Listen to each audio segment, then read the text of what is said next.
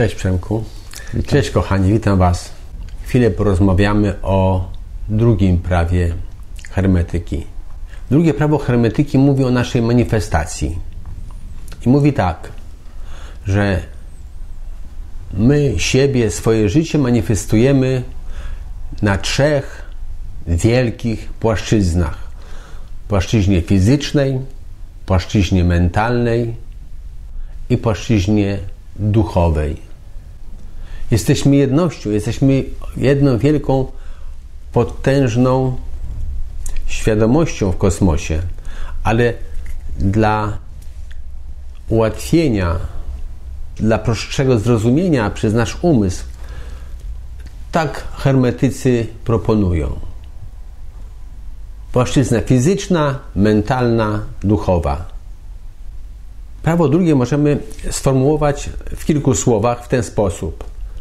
Jak na górze, tak na dole.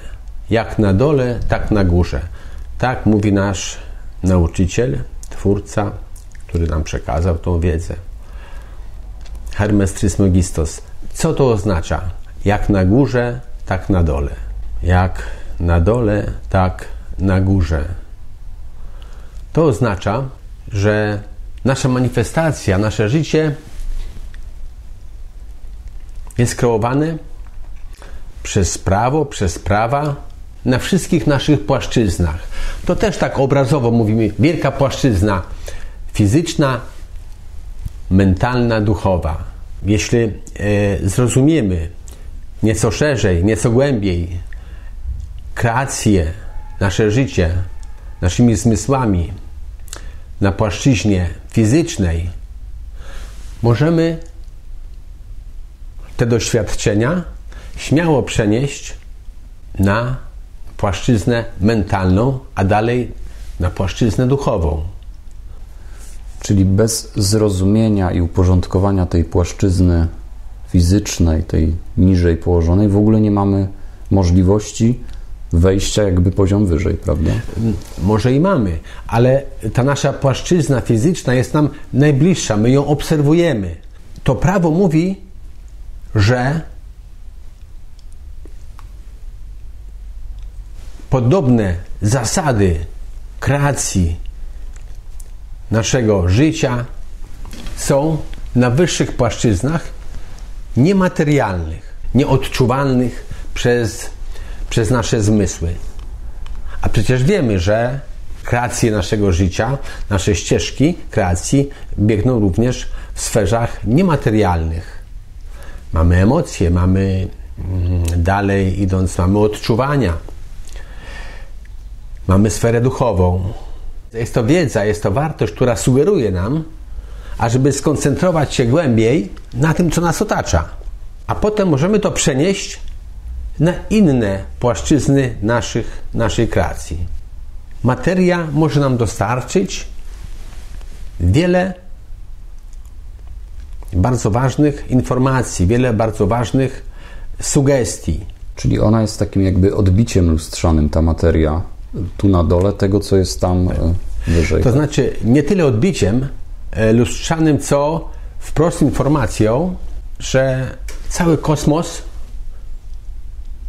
czy ten materialny, czy ten mentalny, czyli kreowany przez nasz umysł, czy duchowy, którego może nie do końca rozumiemy, on jest podobnie kreowany. W ten sam sposób. Najłatwiej nam jest popatrzeć, obejrzeć wokół i zrozumieć, próbować zrozumieć e, otaczającą nas materię, otaczającą nas przyrodę, naturę. I później próbować to przenosić na wyższe poziomy kreacji. Czyli głęboka, świadoma obserwacja materii w płaszczyźnie fizycznej daje nam podbudowę do zrozumienia. Tak, daje wykładnie i, pod, i, buduje nam e, taką no, fundament dla zrozumienia głębszego naszej istoty i kosmosu. Możemy więc sobie powiedzieć, że w kreacji życia naszego tutaj na Ziemi to może nie ma wielkiej tajemnicy. My, nasze, może być tak, że może nasza edukacja w naszej cywilizacji biegnie nieco w innym kierunku, nie ułatwia nam lub powiedzmy po prostu biegnie inaczej. A tu tajemnicy nie ma. Jeśli rozpoczniemy zgłębianie, świadome zgłębianie naszego życia tutaj na Ziemi, to osiągniemy podstawę zrozumienia kreacji na wyższych poziomach. No więc mamy tą naszą wokół siebie materię, mamy świat materialny i